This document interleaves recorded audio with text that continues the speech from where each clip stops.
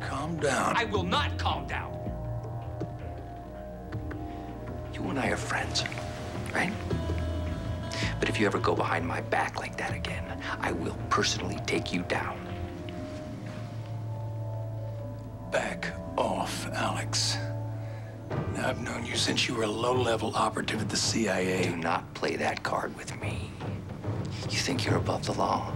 You are not above the law. I didn't say I was above the law.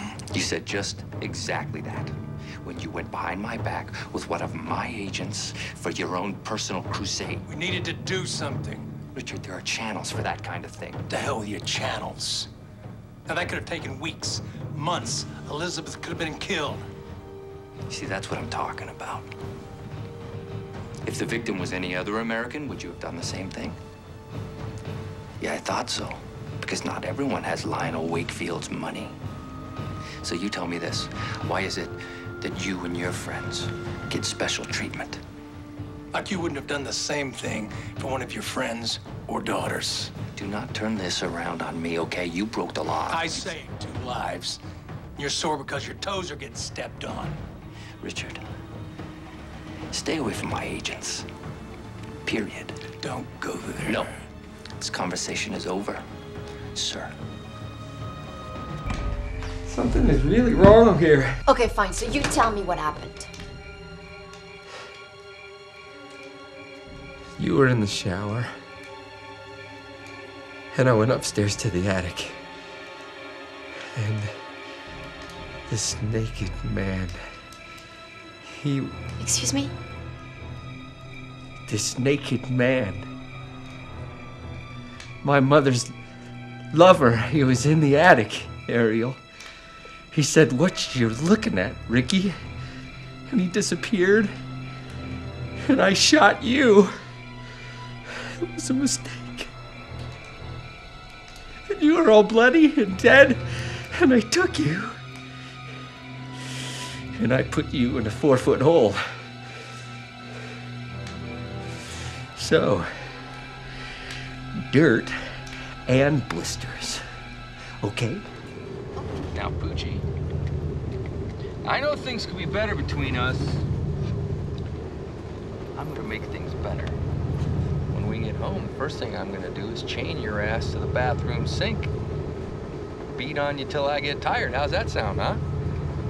From now on, you're gonna eat your dinner out of a little freaking pie tin like the sorry ass dog that you are. What are we doing? We're getting up a posse and go after him. Well, what posse you with? Your posse. We ain't no posse. Well, how about you? You a posse? I ain't no posse! You a posse? I ain't no posse.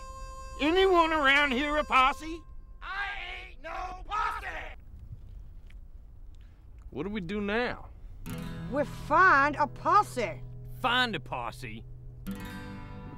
Good idea. Don't be stealing my terminology. What say we branch off of here and look around? Good idea. Look around for a posse. Reckon there's one around here someplace.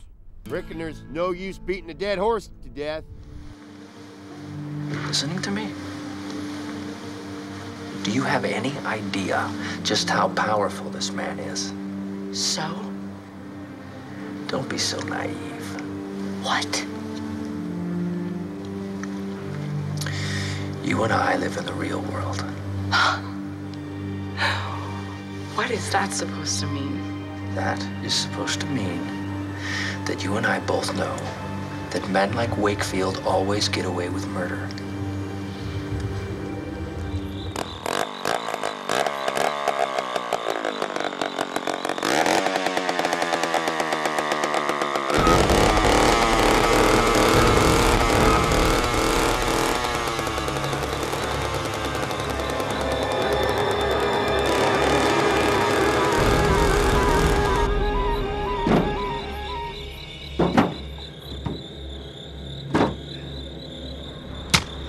Rest in pieces, bitch.